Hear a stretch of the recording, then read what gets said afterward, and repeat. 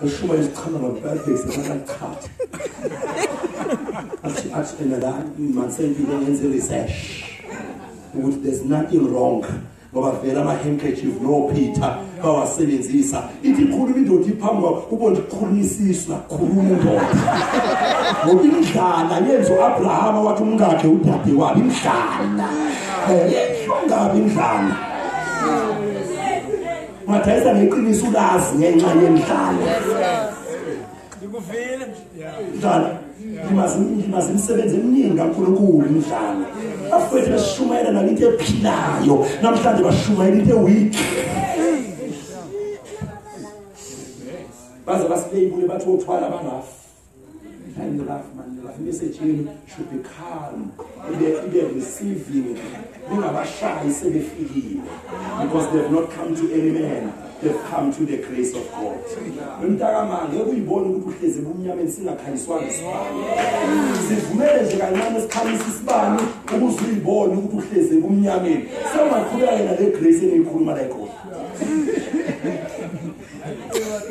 ezinto inganokuthiwa abantu bakho igrace nizofa nikugrace ngoba igrace iyasustainana kodwa isindisane into esindisayo yigazi likathi ungapheleli kugrace uphuza utshwala ngolwesihlanu bese ungena kugrace uzolitha iworship ngeso ngoba niyakhala negoli na icashela lento yegreen ingane ziyamlitha zikhula kuma-worship team ziyabuyela zilokhu icashe ngale bridge kwa igrace izofika la iphelelwa khona the very same Jesus owummeli oh, namhlanje usazojika abe yijaji ajaje bona labakade bamele badala ngomusa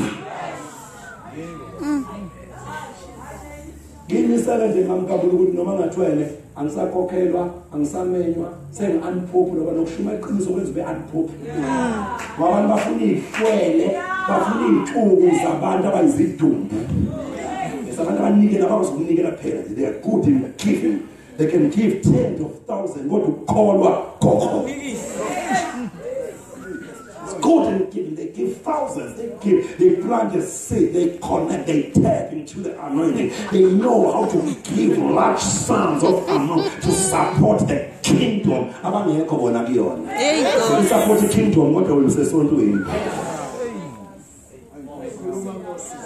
so we're going to break new grounds No, nokumezwini yeah.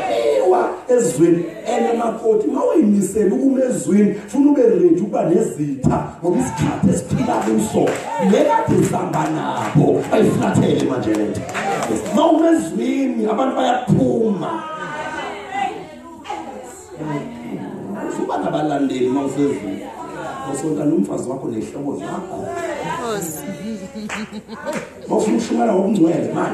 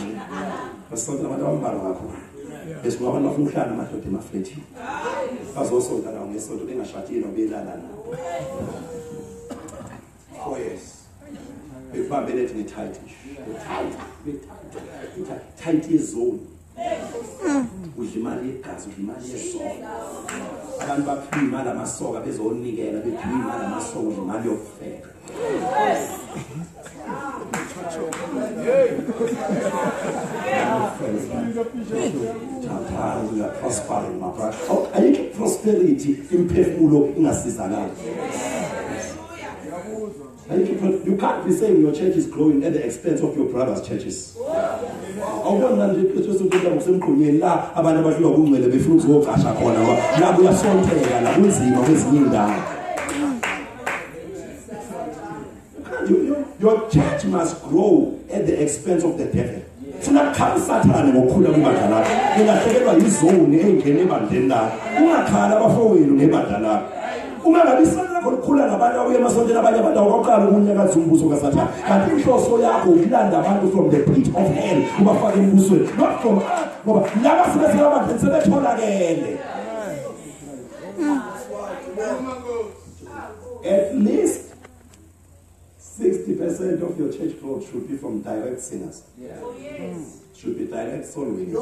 Sebengeza ngabakhathele yimina bezophumula kuwena. Okuyona futhi into enginayo because I would prefer umzana ukuthi uma engasangizwa angishiye. Yeah. kunokuhlala kanti akangizwa ngoba into yokuhlala komuntu ongangizwa ingozi kami ngoba angasuke athela abangizwayo umoya okungangizwa hmm.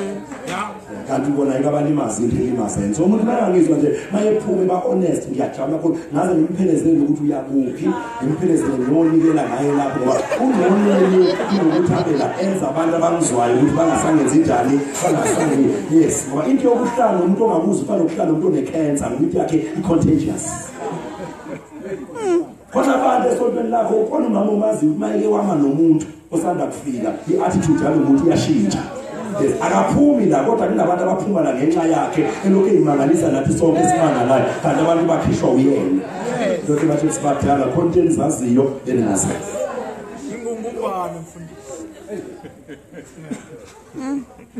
everybody eh, amenaye iattitude yakhe ngawe changes iattitude yakhe ngesonto changes and talking with those people for a very long time ngingazi ukuthi ene ungabenza kanjani ngithukuthela ngeceleni ngingazi ukuthi hambe lo umama lo usibani bani singamenza kanjani no ungazi ukuthi nomama umdala futhi ungamenza kanjani kodwa ubona ukuthi nomama uyawukhosta umsebenzi ukhosta umsebenzi umuntu umayeke wadla idina kwakhe vele kuphelile yonke nje kuphelile thina futhi ifesi laphana ukuthi abantu abanjalo singababingelile abantu abanjalo singadli nabo ethafuleni lithelivesi abantu abanjalo sibabeka uphawu bangcwele ningasondeli kumamusibanibani umanisondela kumamusibanibani wonke into ofuna ukuwufaka akuyalapha at your own cost at your own risk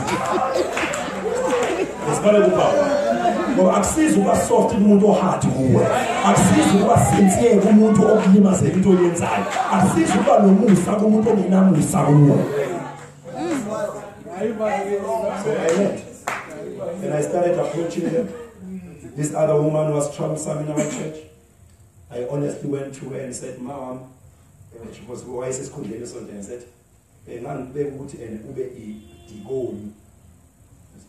put you to be a deacon but ngibona ngazuthi la magama asondelene kakhulu and wena awusaselwana manje idikoni usdimunamagama lawo aphelele dikoni dimoni uma uwa edikonini uba idimuni wathi ene baba ngangizwe ngazuthi ngesikhathi usigcoba wathi ene ufuna ukuthi nasibe ngamehlo akho sibe yiy'ndlebe zabo ngithi yes mangisho kanjalo but nangasho ukuthi and nibe yintatheli mm.